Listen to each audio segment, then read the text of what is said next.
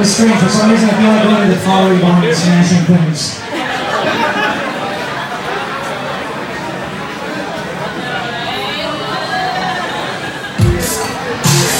Thank